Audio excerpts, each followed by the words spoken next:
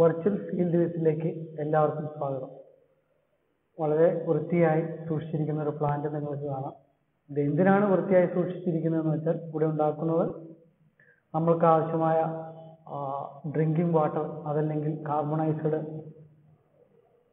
Beverages ഒക്കെ ഉണ്ടാക്കുന്നതിനായി ഉപയോഗിക്കുന്ന കുപ്പിയുടെ പ്രീ ഫോം അതായത് അത് വീർപ്പിച്ച് അത് കുപ്പി പോലെ ആക്കുന്നതിന് മുമ്പുള്ള ഒരു സെമി ഫിനിഷ്ഡ് പ്രൊഡക്റ്റ് ഉണ്ടാക്കുന്ന സ്ഥലമാണിത്. Parison moulding injection moulding techniques ഉപയോഗിച്ച് പാരിസൺ ഉണ്ടാക്കുന്ന ഒരു പ്ലാന്റ് ആണ്.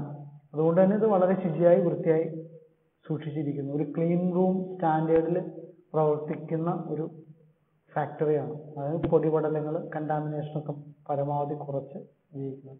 ഈ കാണുന്നത് നമ്മൾ ഫയർ ഫൈറ്റിംഗ് യുമായി ബന്ധപ്പെട്ട് ഉപയോഗിക്കുന്ന സാധനമാണ് ഫിനിഷ്ഡ് പ്രൊഡക്ട്സ് സൂക്ഷിച്ചിരിക്കുന്ന ഒരു സ്ഥലമാണ് ഞാൻ കാണുന്നത്. അത് മെഷീനിലെ സേഫ്റ്റി ഇൻസ്ട്രക്ഷൻസ് അതായത് ഒരു പ്ലാന്റിൽ സുരക്ഷിതത്വം എത്രത്തോളം ഇമ്പോർട്ടന്റ് ആണ് എന്ന് കാണിക്കുന്നതിന് വേണ്ടിയാണ് ഓരോ പ്ലാന്റിലും അല്ലെങ്കിൽ ഓരോ മെഷീനിലും ആവശ്യമായ സുരക്ഷാ നിർദ്ദേശങ്ങൾ എല്ലായിടത്തും കാണാം. കാണാം R C shield when purging melted resin അതായത് പർജ് ചെയ്യുന്ന സമയത്ത് ഷീൽഡ് ഉപയോഗിക്കാതെ അല്ലെങ്കിൽ കണ്ണിലോ മുഖത്തോ തെറിച്ച് പൊള്ളാൻ സാധ്യതയുണ്ടെന്നാണ് പൊടി വെറ്റ് ഡ്രൈ ആയി സൂക്ഷിക്കാൻ തെന്നി വീഴാതൊക്കെ ഇരിക്കാൻ വേണ്ടിയിട്ടാണ്. നമുക്ക് വരുന്ന റോ മെറ്റീരിയൽ സൂക്ഷിച്ചിരിക്കുന്ന ഒരു വലിയ ചാക്കാണിത്. ഏകദേശം ഒരു അഞ്ഞൂറ് കിലോ കൊള്ളുന്ന ചാക്കാണ്. ഇങ്ങനെയാണ് നമുക്ക് ആവശ്യമായ പെറ്റ് അതായത് വാട്ടർ ബോട്ടിൽ നിർമ്മിക്കുന്ന ആവശ്യമായ കുപ്പി വരുന്ന raw material polymer PET resin വരുന്നത് എങ്ങനെയാണ് ഈ കാണുന്നത് നമ്മൾ വാങ്ങിയ റെസിൻ നമ്മുടെ സ്റ്റോറേജ് റൂമിനടുത്ത് വന്ന് നിൽക്കുന്നതാണ്. ഒരു ഹോയിസ്റ്റ് ഉപയോഗിച്ച് ഓവർഹെഡ് ഹോയിസ്റ്റ് ഉപയോഗിച്ച് ലിഫ്റ്റ് ചെയ്ത് അല്ലെങ്കിൽ പൊക്കിയെടുത്ത് നമ്മുടെ സ്റ്റോറേജ് റൂമിൽ വയ്ക്കാൻ പോകുന്ന ഒരു കാഴ്ചയാണ് നിങ്ങൾ കാണാൻ പോകുന്നത്. ഓരോ ഓരോ ഫാക്ടറിയിലും ഒരു റോ മെറ്റീരിയൽ റിസപ്ഷൻ ഉണ്ടാവും.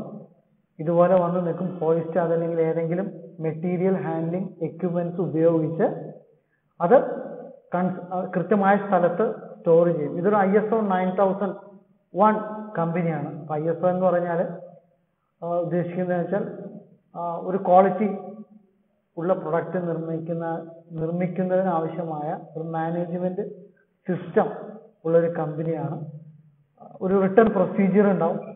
ആ പ്രൊസീജിയർ അനുസരിച്ചായിരിക്കും ആ ഫാക്ടറിയിലെ അല്ലെങ്കിൽ ആ കമ്പനിയിലെ പ്രവർത്തനം നടക്കുന്നത്.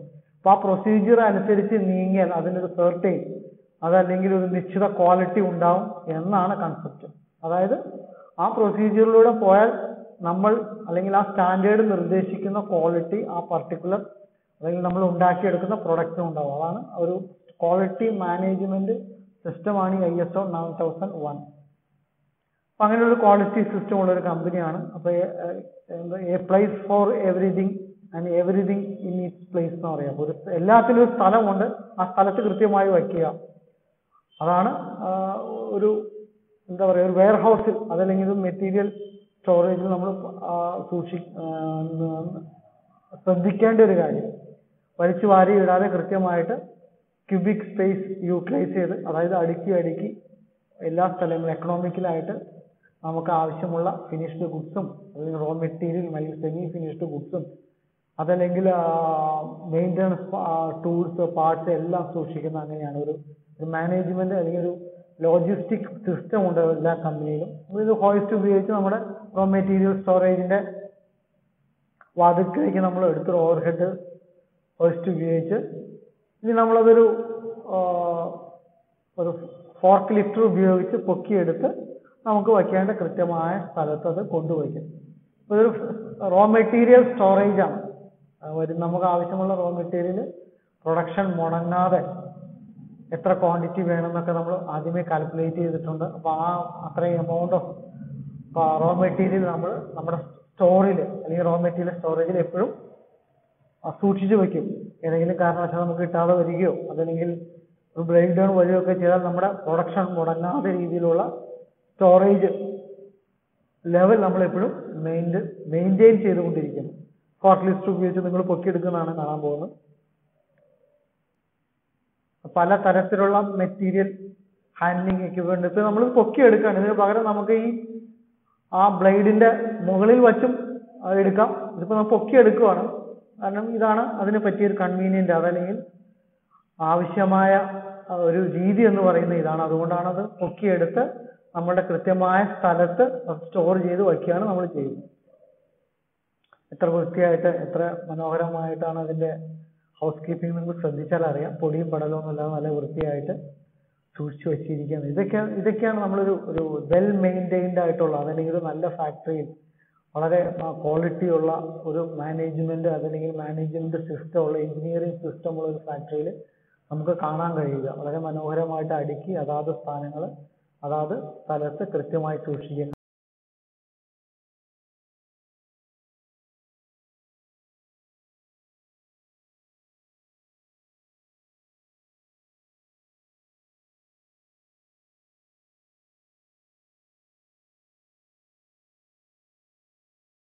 ഈ കാണുന്നത് ഒരു ഓട്ടോമേറ്റഡ് ഫീഡിംഗ് സിസ്റ്റമാണ് നമ്മൾ സ്റ്റോർ ചെയ്ത മെറ്റീരിയൽ ഹാങ് ചെയ്തിരിക്കുന്നതാണ് അതിന്റെ മൗത്തിൽ കൂടെ.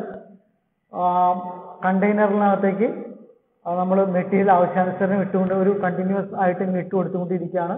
വാക്വം അസിസ്റ്റഡ് കൺവെയർ ആണത്. താഴത്തു കൂടെ ട്യൂബിലേക്ക് നമ്മൾ വാക്വം വലിച്ചെടുത്ത് റോ മെറ്റീരിയൽ അടുത്ത ഒരു ഒരു എന്താ പറയാ പൊടി പടലങ്ങളൊക്കെ വലിച്ചു കളയുന്ന ഒരു സിസ്റ്റം ഉണ്ട് ഒരു ബ്ലോവർ ഉണ്ട്. ആ ബ്ലോവറിനകത്തേക്ക് മാറ്റി നമ്മൾ ആ മെറ്റീരിയലിനകത്തെ പൊടി പടലങ്ങൾ മോയിസ്റ്റൊക്കെ നമ്മൾ മാറ്റിയെടുക്കും. ശേഷം വീണ്ടും നമുക്ക് ആവശ്യമായ കൺവെയറിൽ കൂടെ അല്ലെങ്കിൽ കൃത്യമായ കൺവെയറിൽ കൂടെ നമുക്ക് ഏത് മെഷീനിലേക്കാണോ പർട്ടിക്കുലർ ആ പ്രത്യേക തരം മെറ്റീരിയൽ പോകേണ്ട ആ മെറ്റീരിയൽ ആ മെഷീന്റെ അടുത്തേക്ക് പോകുന്നതിന് ആവശ്യമായ ഒരു ഓട്ടോമേറ്റഡ് സിസ്റ്റം കണക്റ്റഡ് സിസ്റ്റം ഉണ്ട്. നമ്മൾ കണ്ടു ഇത് ഇപ്പൊ ഈ കണ്ടത് നമ്മളൊരു സോഡ കുപ്പി അല്ലെങ്കിൽ കാർബണൈസ്ഡ് വാട്ടർ ഉണ്ടാക്കാൻ ഉപയോഗിക്കുന്ന റോ മെറ്റീരിയലാണ് പെറ്റ് നമ്മൾ ഈ കാണുന്ന സിസ്റ്റത്തിൽ വെച്ച് നമ്മൾ അതിനകത്ത് പൊടിപടലങ്ങളൊക്കെ വലിച്ചു കളഞ്ഞ് ഒരു contaminated free dust free material നമ്മൾ ഈ കൺവെയറിനകത്തേക്ക് കാണുന്ന സിസ്റ്റത്തിനകത്തേക്ക് നമ്മൾ കണക്ട് ചെയ്യും. ഈ സിസ്റ്റം ഇതിന്റെ പ്രത്യേകത എന്താണെന്ന് വെച്ചാൽ ഒരുപാട് വാൽസ് ഉണ്ട്. ഏതെങ്കിലും ഒരു വാ വാൽവ് സ്റ്റക്ക് ആയാൽ നമുക്ക് അടുത്ത വാൽവിലേക്ക് മാറ്റി കണക്ട് ചെയ്യാം. അപ്പൊ ഇതിനകത്ത് ഫീഡ് ചെയ്യുന്നത് ഒന്ന് രണ്ട് മൂന്ന് നാല് അഞ്ച് ഫീഡിംഗ് ലൈനാണ് ഉള്ളത്. ആ ഈ ഫീഡിംഗ് ലൈനാണ് നമ്മുടെ താഴത്തെ മെഷീന്റെ അടുത്തേക്ക് പോകുന്നത്. ഈ വാക്കം വലിച്ചെടുത്ത് താഴെ ഏത് മെഷീൻ ആ പർട്ടിക്കുലർ ഏത് മെഷീന്റെ അടുത്തേക്കാണോ പോകേണ്ടത് ആ മെഷീന്റെ അടുത്തേക്ക് തന്നെ കൃത്യമായിട്ട് ഈ ലൈൻ ചെന്നെത്തുകയാണ് ചെയ്യുന്നത്. അതിന് പ്രത്യേകതരം വാൽവുകളും കണ്ടിന്യൂസ് ഫീഡ് അസിസ്റ്റ് ചെയ്യാനുള്ള വാൽവ്സ് ഒക്കെ കണക്റ്റഡ് ആണ് stainless steel S S three nought four steel ഉപയോഗിച്ചിട്ടുള്ള പൈപ്പുകളാണ് കാണുന്നത്. ഇതൊരു പ്രീ ഹീറ്റിംഗ് സിസ്റ്റം ആണ്. നമുക്കറിയാം എന്തിനാണ് പ്രീ ഹീറ്റിംഗ് എന്തിനാണ്? അതിനകത്തുള്ള മോയ്സ്ചർ കണ്ടന്റ് അതല്ലെങ്കിൽ നമ്മൾ മെറ്റീരിയൽ ഫീഡ് ചെയ്യുന്നതിന് മുമ്പ് മെഷീനിൽ കൊടുക്കുന്നതിന് മുമ്പ് വളരെ വലിയ ടെമ്പറേച്ചർ ഒക്കെ ആണെങ്കിൽ നമുക്ക് പ്രീ ഹീറ്റ് ചെയ്താൽ അത്രയും ടെമ്പറേച്ചർ മെഷീനിൽ കൊടുത്ത് കുറച്ച് കൊടുത്താൽ മതി. അത് നമ്മുടെ പ്രോസസ്സിംഗ് ടൈം ലാഭിക്കാൻ പറ്റും. ഇതൊരു എന്താ പറയുക ഒരു പ്രീ ഹീറ്റിംഗ് സിസ്റ്റമാണ് ആണ് നമുക്ക് ടെമ്പറേച്ചർ സെറ്റ് ചെയ്യാം. അതിനകത്ത് ഹീറ്റർ ഉണ്ട് ആ ഹീറ്ററിൽ കൂടെ കണക്ട് ചെയ്തിരിക്കുന്ന സിസ്റ്റം എടുത്ത് നമ്മുടെ മെഷീന്റെ ഓട്ടോമാറ്റിക് ഫീഡിംഗ് സിസ്റ്റത്തിലേക്ക് വരുന്നു. ഇവിടെയും വെച്ച് നമ്മൾ ഒന്നുകൂടെ ഒന്ന് പ്രീ ഹീറ്റ് ചെയ്യുകയും അതിനകത്ത് മോയിസ്ചർ എല്ലാം വലിച്ച് പുറത്തേക്ക് കളയുകയും ചെയ്യും. ശേഷമുള്ള മോയിസ്ചർ എല്ലാം വലിച്ചു കളഞ്ഞ് ഡസ്റ്റ് ഫ്രീ ആയിട്ടുള്ള മെറ്റീരിയലാണ് നമ്മൾ കണ്ടിന്യൂസ് ആയിട്ട് മെഷീനിലേക്ക് ഫീഡ് ചെയ്യുന്നു. അങ്ങനെ ഫീഡ് ചെയ്ത മെറ്റീരിയൽ നമ്മുടെ ബാരലിന്റെ അകത്ത് അക്യുമുലേറ്റ് ചെയ്യാണ്. ശേഷം അത് ഇഞ്ചെക്ട് ചെയ്യുമ്പോഴാണ് അതിന്റെ ഒരു ഫോർവേഡ് മൂവ്മെന്റ് നിങ്ങൾ കാണുന്നത്. അപ്പോൾ ഇഞ്ചെക്ട് ചെയ്തതിനു ശേഷം വീണ്ടും അത് തിരിച്ച് പുറകിലേക്ക് പോകണം. ഈ സമയത്താണ് നോസിന്റെ ഫ്രണ്ടിൽ മെറ്റീരിയൽ അക്യുമുലേറ്റ് ചെയ്ത് അടുത്ത ഷോട്ടിനുള്ള മെറ്റീരിയൽ അക്യുമുലേറ്റ് ചെയ്യുന്നത്. ഇത് താരതമ്യേന ഒരു ഓട്ടോമേറ്റഡ് സിസ്റ്റമാണ് അപ്പോൾ എല്ലാം ക്ലോസ്ഡ് ആണ്. കോംപ്ലക്സ് എഞ്ചിനീയറിംഗ് ആണ്. എല്ലാം വാൽസും കൺട്രോൾസും ഒക്കെ വെച്ച് നിയന്ത്രിക്കുന്നതാണ്. ഹ്യൂമൻ ഇന്റർഫിയറൻസ് കുറവാണ്. ഈ കണ്ടപ്പോൾ നിങ്ങൾ കണ്ടതൊരു മോൾഡ് സൈഡാണ് മോൾഡ് സൈഡ് എന്ന് പറഞ്ഞാൽ അതിന്റെ കൂളിംഗ് എജക്ഷൻ ഇഞ്ചക്ഷൻ ക്ലാമ്പിങ് എല്ലാം കൂടെ ചേർന്ന ഒരു മോൾഡ് സൈഡ് അസംബ്ലിയാണ് നിങ്ങൾ കാണുന്നത്. കാണാൻ കാണാം നിങ്ങൾക്ക് ഒരു വെർട്ടിക്കൽ ഇഞ്ചക്ഷൻ ആണ് നിങ്ങൾ കാണുന്നത്. കോറ് താഴെ അല്ല ക്യാവിറ്റി താഴെ കോറ് മുകളിലും ഈ കോറ് വന്ന് ക്യാവിറ്റിയിലേക്ക് പ്രസ് ചെയ്യുമ്പോൾ താഴത്തെ ഒരു ഹോട്ടർ ഹോട്ടർ റണ്ണർ സിസ്റ്റത്തിലേക്ക് മെൽറ്റ് ചെയ്ത മെറ്റീരിയൽ വരികയും അത് ക്യാവിറ്റി ഫില്ല് ചെയ്യുകയാണ് ചെയ്തത്. അങ്ങനെ ശേഷം ഫില്ല് ചെയ്ത പാരിസൺ നെക്സ്റ്റ് സ്റ്റേജിലേക്ക് വരും. അതായത് ഒരു കൂളിംഗ് കൺവെയറിലേക്ക് വരും. അവിടെ വെച്ച് ഒരു രണ്ട് ലെയർ ടു ടയർ കൂളിംഗ് കഴിഞ്ഞതിന് ശേഷമാണ് അത് എജക്ട് ചെയ്ത് പുറത്തേക്ക് വരും നിങ്ങൾക്ക് കാണാം. ആ കൂളിംഗ് കൺവെയറിൽ നിന്ന് എടുത്ത് ഒരു കൺവെയറിൽ നിന്ന് എടുത്ത് അടുത്ത കൺവെയർ വരും. അടുത്ത കൺവെയർ എടുത്ത് വീണ്ടും അത് എജക്ടർ ലൈനിലേക്ക് അല്ലെങ്കിൽ എജക്ടർ കൺവെയറിലേക്ക് എടുത്തിടും. അത് നമ്മുടെ പാക്കിംഗ് സ്റ്റാഗിലേക്ക് അല്ലെങ്കിൽ പാക്കിംഗ് ചാക്കിലേക്ക് കിട്ടിക്കഴിഞ്ഞാൽ ഈ ബാഗിലേക്ക് കിട്ടിക്കഴിഞ്ഞാൽ അത് സീൽ ചെയ്ത് നമ്മൾ യഥാസ്ഥാനത്ത് സൂക്ഷിക്കുകയാണ് ചെയ്യുന്നത്. കാരണം വെർട്ടിക്കൽ ഇഞ്ചക്ഷൻ നടന്നു. നമ്മുടെ കൺവെയർ എടുത്തു. കൺവെയർ എടുത്തത് അടുത്ത ടയർ കൂളിങ്ങിലേക്ക് വെച്ചു. അടുത്ത ടയർ കൂളിംഗിൽ നിന്ന് വീണ്ടും കൺവെയർ എടുത്ത് നെക്സ്റ്റ് ടയറിലേക്ക് വെച്ചു. അത് കഴിഞ്ഞ് അടുത്ത ഇജക്ഷൻ കൺവെയറിലേക്ക് എടുത്തത് താഴത്തേക്ക് കൺവെയറിൽ ഇടുന്നതാണ്. നിങ്ങൾക്ക് താഴത്തേക്ക് വന്ന് കൺവെയറിൽ കൂടെ നമ്മുടെ പാക്കിംഗ് ബാഗിലേക്ക് ചാടുന്ന നിങ്ങൾക്ക് കാണാം. പാക്കിംഗ് ബാഗിലേക്ക് ചാടി ആ ബാഗ് നിറഞ്ഞു കഴിയുമ്പോൾ അത് സീൽ ചെയ്ത് യഥാസ്ഥാനത്ത് സ്റ്റോർ ചെയ്യും. ഇങ്ങനെ സ്റ്റോർ ചെയ്ത് സാധനം അത് അത് സീൽ ചെയ്യാൻ കൊണ്ടുവന്നാണ് കാണുന്നത്.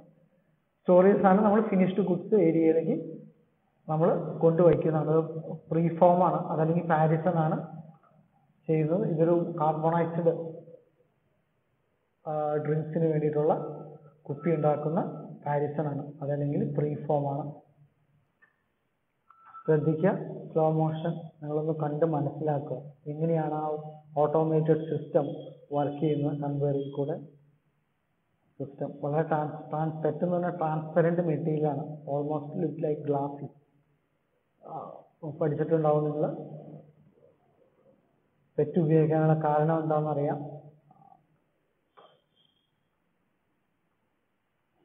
ഫുഡ് ഗ്രേഡ് മെറ്റീരിയലാണ് അതിനകത്തേക്ക് ടോക്സിക് ആയിട്ടുള്ള അതല്ലെങ്കിൽ മനുഷ്യന് ഹാനികരമായിട്ടുള്ള വസ്തുക്കളൊന്നും ഫുഡ് ഐറ്റംസിലേക്കോ ബ്യൂറേസിലേക്കോ ചേരാൻ സാധ്യതയില്ലാത്തത് കൊണ്ടാണ് നമ്മളത് ഉപയോഗിക്കുന്നത്.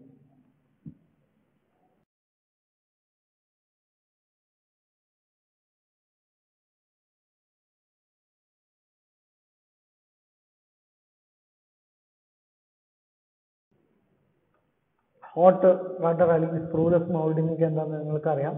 ഹോട്ട് റണ്ണർ ഉപയോഗിച്ച് കഴിഞ്ഞാൽ നമുക്ക് ആ സ്ക്രൂ എന്ന് പറഞ്ഞ ആ ഒരു ഭാഗം ഉണ്ടാവില്ല. നേരെ മോൾഡ് സ്പഞ്ച് സ്ക്രൂ നമുക്കൊരു പോസ്റ്റ് ഫിനിഷിംഗ് ഓപ്പറേഷന്റെ ആവശ്യമില്ല. സ്ക്രൂലെസ് ആയിട്ടായിരിക്കും വരുന്നത്. അപ്പോൾ ഡയറക്റ്റ് നമുക്കത് പാക്ക് ചെയ്യാൻ സാധിക്കുന്നതായിരിക്കും. ഫിനിഷിംഗ് നമുക്ക് ഫർദർ ഫിനിഷിംഗ് ഓപ്പറേഷൻ ഉണ്ടാവില്ല എന്ന് ചുരുക്കം. ഇതിന്റെ നെക്ക് കാണിക്കുകയാണ്. അതായത് നമ്മുടെ കുപ്പിയുടെ അടപ്പിന്റെ ഭാഗം. രണ്ട് ടൈപ്പ് ഒന്ന് കാർബണൈസ്ഡ് വാട്ടറുള്ള കുപ്പി അതായത് ഗ്യാസ് ആഡ് ചെയ്തിട്ടുള്ള അല്ലെങ്കിൽ ഗ്യാസ് ലയിപ്പിച്ചിട്ടുള്ള അതും രണ്ട് അതല്ലാത്ത ബ്യൂറൈസ് ഉപയോഗിക്കുന്ന കുപ്പികളാണ്. ഗ്യാസ് ലയിപ്പിക്കുന്ന അതല്ലെങ്കിൽ കാർബണൈസ്ഡ് വാട്ടർ ഉപയോഗിക്കുന്നതിന്റെ ത്രെഡിന്റെ ഇടയ്ക്കൊരു വെട്ട് നിങ്ങൾക്ക് കാണാം. ഒരു ഒരു ഗ്യാപ്പ് ത്രെഡിന്റെ ഇടയ്ക്ക് കൊടുത്തിരിക്കുന്നത് കാണാം. കാർബണൈസ് അത് ഒരു ബാരിയർ പ്രോപ്പർട്ടി കിട്ടാൻ വേണ്ടി ചെയ്തിരിക്കുന്നതാണ്. അത് ചെയ്യുന്നത് പിന്നെ പാരസന്റെ നെക്ക് കാണാം. അവിടെ കുപ്പിയുടെ അടപ്പ് വന്ന് അടഞ്ഞിരിക്കുന്നത് കണ്ടോ? അതിന്റെ ഇടയ്ക്ക് നിങ്ങൾക്കൊരു മാർക്കിംഗ് ഒക്കെ കാണാം. ഏത് ബാച്ചാണ് ഏത് കമ്പനിയാണ് എന്നൊക്കെയുള്ളൊരു മാർക്കിംഗ് കാണാം. അത് ഉപയോഗിച്ച് നമുക്ക് ഏത് പ്രൊഡക്റ്റാണ് ഏത് ബാച്ചാണെന്നൊക്കെ നമുക്ക് ഐഡന്റിഫൈ ചെയ്യാൻ പറ്റും. രണ്ട് തമ്മിലുള്ള വ്യത്യാസം നിങ്ങൾക്ക് ആ നെക്കിലെ വ്യത്യാസം ശ്രദ്ധിച്ച് മനസ്സിലാക്കും. ഈ നെക്കിനൊക്കെ ഓരോ സ്റ്റാൻഡേർഡും ഉണ്ട്. അപ്പോൾ ആ സ്റ്റാൻഡേർഡ് അനുസരിച്ചാണ് നമ്മൾ നെക്കും ത്രെഡും ഒക്കെ ഡിസൈൻ ചെയ്യുന്നത്. ഓരോ ടൈപ്പ് നെക്കിലും അതല്ലെങ്കിൽ ഓരോ ടൈപ്പ് പ്രഷർ ഉപയോഗിക്കുന്ന പ്രഷർ ഉപയോഗിക്കാത്തതാണ് നെക്കിനൊക്കെ സ്റ്റാൻഡേർഡ് ഉണ്ട് ആ ത്രെഡിനൊക്കെ സ്റ്റാൻഡേർഡ് ഉപയോഗിച്ചിട്ടുള്ള ഈ നെക്കുകളാണ് നമ്മൾ ഉപയോഗിക്കുന്നത്. അതൊക്കെ മോൾ ഡിസൈൻ സമയത്ത് ചെയ്യുന്നതാണ്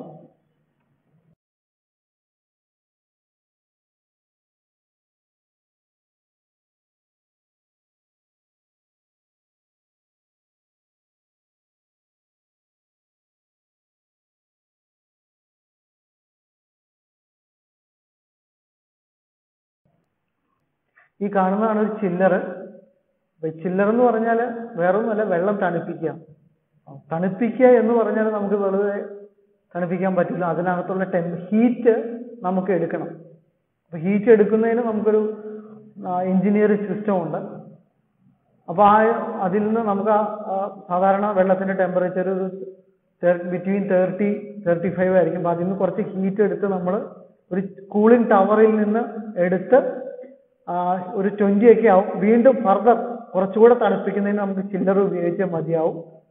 അപ്പൊ അതിനൊരു ചില്ല നമുക്കൊരു മെക്കാനിക്കൽ അല്ലെങ്കിൽ തെർമൽ എഞ്ചിനീയറിംഗ് ഉപയോഗിച്ചിട്ട് നമ്മൾ ആ വെള്ളം തണുപ്പിക്കും. അങ്ങനെയാണ് നമ്മൾ മോൾഡ് തണുപ്പിക്കുന്നത്. ഇതൊരു മോൾഡിന്റെ പാർട്ടാണ്. അതിന്റെ കോറിന്റെ പാർട്ടാണ്. ആ കോർ എങ്ങനെയാണ് ഫിക്സ് ചെയ്തിരിക്കുന്നത് കാണാം. താഴെ അതിന്റെ കോർ പാർട്ടും ഉണ്ട്.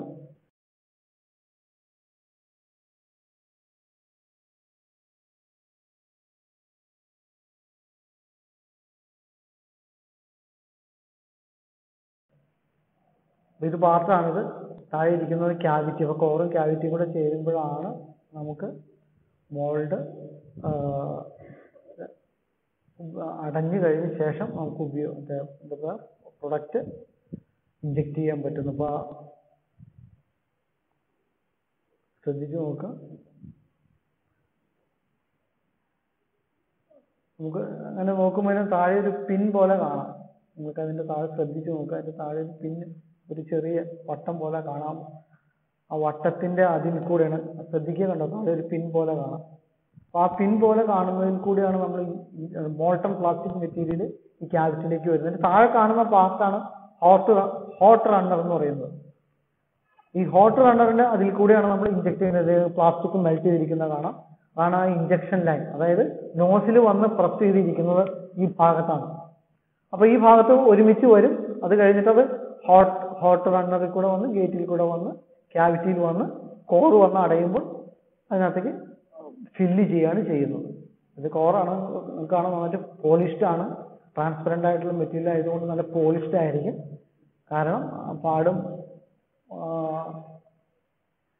കണ്ടാമിനേഷൻ ഒക്കെ വന്നാൽ അതല്ലെങ്കിൽ പ്രോപ്പർ നന്നായിട്ട് ഫോം ചെയ്തില്ലെങ്കിൽ അതിന്റെ ഭംഗിയെ അഫക്റ്റ് ചെയ്യും. നിങ്ങൾക്കറിയാം ഒരു വൈറ്റ് വാട്ടർ ബോട്ടിലിന്റെ കോപ്പിയൊക്കെ എത്ര ഫിനിഷോട് കൂടിയാണ് നിങ്ങൾ കാണുന്നത്. അപ്പോൾ അത്രയും പോളിഷ്ഡ് ആണ് ഈ മെറ്റീരിയൽ ശ്രദ്ധിച്ച് നോക്കുക. താഴെ കാണുന്ന ആ പിൻ പോലെ ഭാഗങ്ങളാണ് ഇതിലാണ് പ്ലാസ്റ്റിക്സ് മെൽറ്റ് ചെയ്ത് ക്യാവിറ്റിയിലേക്ക് വരുന്നത്.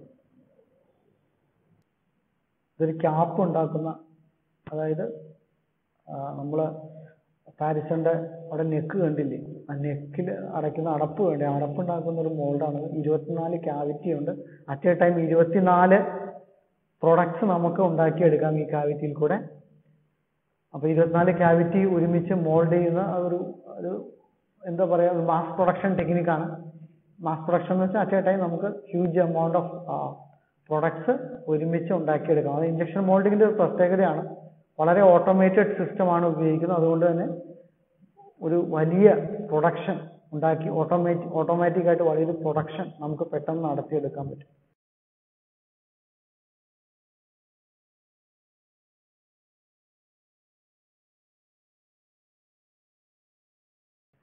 ഫിനിഷ്ഡ് ഗുഡ്സ് ഇത് നമ്മൾ ഇനി അവസാനം ഒരു പത്ത് പതിനൊന്ന് കിലോ പന്ത്രണ്ട് കിലോ വരുന്ന അത്രയും നമ്മൾ വെയ് ചെയ്ത് ബാഗിലേക്ക് ആക്കിയ ശേഷം നമ്മൾ സീൽ ചെയ്യുകയാണ് ചെയ്യുന്നത്. അപ്പോൾ ആ വെയിങ് ആണ് കാണുന്നത് approximate eleven point nine approximate twelve kilo K G നമ്മൾ എടുക്കും. കെ ജി എടുത്ത ശേഷം സീലിംഗ് മെഷീനിൽ വെച്ച് നമ്മൾ സീൽ ചെയ്യുകയാണ് ചെയ്യുന്നത്.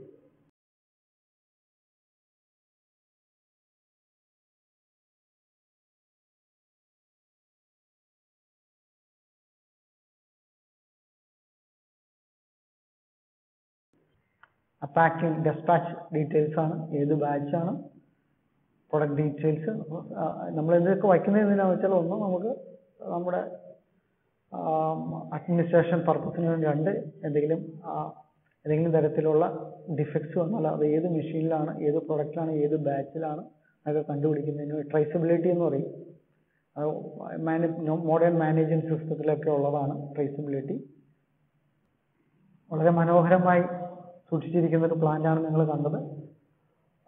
പുതിയ പ്ലാന്റുകളൊക്കെ ആർട്ടിഫിഷ്യൽ ഇന്റലിജൻസും മോഡേൺ സോഫ്റ്റിക്കേറ്റഡ് കൺട്രോൾ സിസ്റ്റം ഒക്കെ ഉപയോഗിച്ചുള്ളതാണ്. അതിനെപ്പറ്റിയുള്ള ഓരോ ഫാക്ടറി കാണുമ്പോഴും കൂടുതൽ ഡീറ്റെയിൽസ് മനസ്സിലാക്കിയെടുക്കാൻ ശ്രമിക്കുക ഏ, കണ്ട് മനസ്സിലാക്കിയ എല്ലാവർക്കും നന്ദി.